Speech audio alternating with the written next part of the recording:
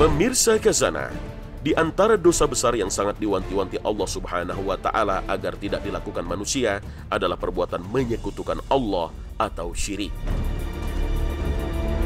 Allah Subhanahu wa taala berfirman, Sesungguhnya Allah tidak akan mengampuni dosa syirik dan dia mengampuni segala dosa yang selain dari syirik itu bagi siapa yang dikehendakinya. Barang siapa yang mempersekutukan Allah, maka sungguh ia telah berbuat dosa yang besar.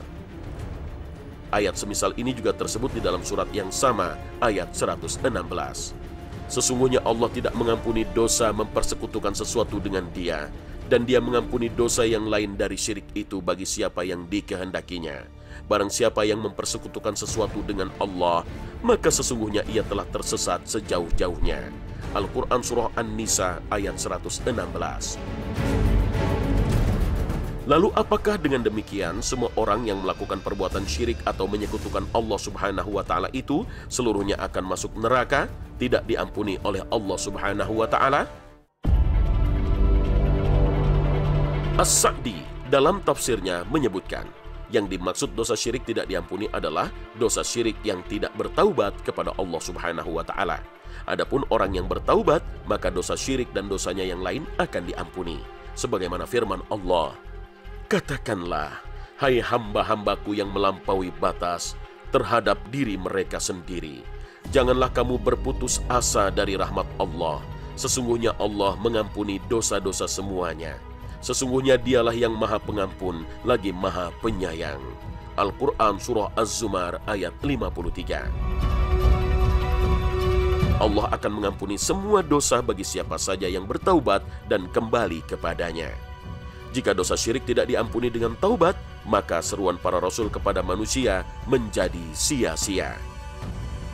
Demikian juga mayoritas bangsa Arab sebelum kedatangan dakwah Nabi Muhammad Sallallahu Alaihi Wasallam adalah orang-orang musyrik. Mereka berhenti dari kemusyrikan disebabkan keimanan mereka kepada beliau dan bertaubatnya mereka dari kemusyrikan.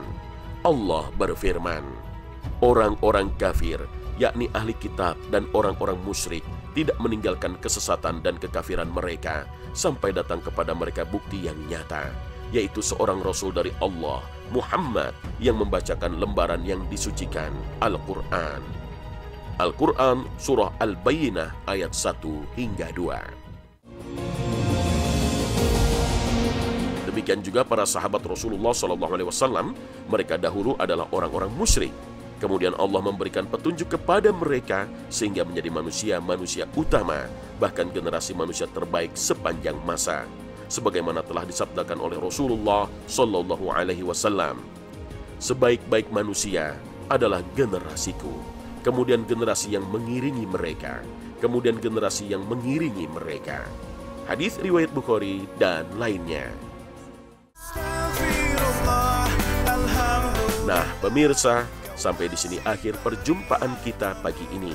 Semoga Allah Subhanahu wa Ta'ala senantiasa memberikan hidayah dan taufiknya agar senantiasa beramal soleh dan menjauhi larangan-larangannya. Amin ya Rabbal 'Alamin. Terima kasih atas perhatian Anda. Wassalamualaikum warahmatullahi wabarakatuh.